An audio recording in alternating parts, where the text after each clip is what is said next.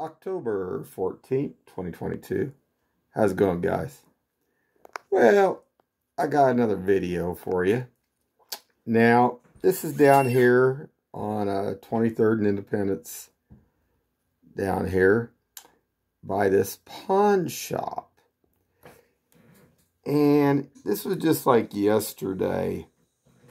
I didn't get this out, but there's a lot of activity going on tonight all over, so I thought, well, I'd do a quick video here. But this gal, she was a uh, 45 years old, and she's in a little uh, schoolgirl outfit with a like a German ponytail. and I don't think what she was doing there was just riding a bicycle.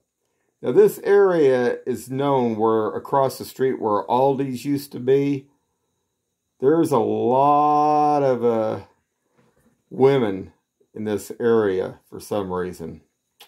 And I think they might be doing something they're not supposed to be doing here. But this caught my eye the day before yesterday. And I'll show you, I went to a Burger King down here. And there is some women laying out on the grass when we come back out through Burger King. Now, hold on, guys. Oh, yeah, and before I uh, bypass this other one. You can also see one standing up there on that wall up there too. But hold on, guys. Okay, guys, I'm back. Now, this is a Burger King. And uh, when we pull out, there's a whole bunch of these gals. And I think there's probably a little bit of prostitution going on here. We're going to show you here. See, as we're coming out of Burger King. And right over here off the side street, right there. We're going to zoom in here. And these are all women. There's a whole bunch of women. They're laying out on the grass and stuff. And I don't know. Probably nothing. But Independence might want to check this area out right here. And I've seen them actually when Aldi's was open across the street before they closed theirs down. I actually seen them over there by that pawn shop even. So it's something that they might want to check out. You know, they used to be down, I think, over on uh, Independence Avenue. Maybe they kind of just pushed further this way off here by, uh, you know, this down over here close by, like Crysler and 23rd. You go on down there to that Burger King down there. That's where this is right here. Let's see if I can back this back out.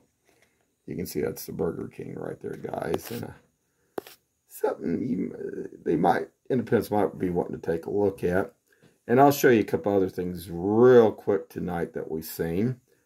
Hold on. Now what you're looking at right here is uh, we went up to World's Fun Halloween Haunt and uh, Kansas City, Missouri. I believe it was Kansas City, Missouri. I don't believe it was Clay County. Clay County's up there, though. But uh, there was one that passed us. Now we're getting ready to go on down here to Ameristar Casino. And that's where this is going. I want you guys to see that flashing in front of us here. You see it. It's moving on to get up there to the casino. Now, hold on, guys. Okay, guys, this is at, uh, I believe it's called the Flying J, or I think it's what it's still called. Anyway, truck stop across from Ameristar.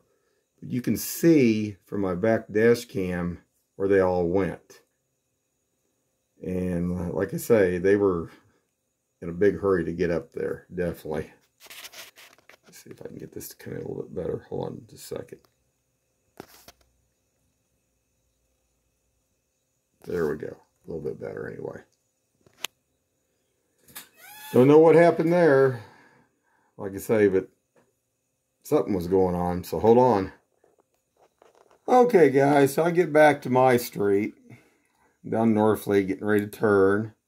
And I'll let you guys see what I see next. As you can see, that fire truck is back up there at that house up here top of the hill. That's still in Independence.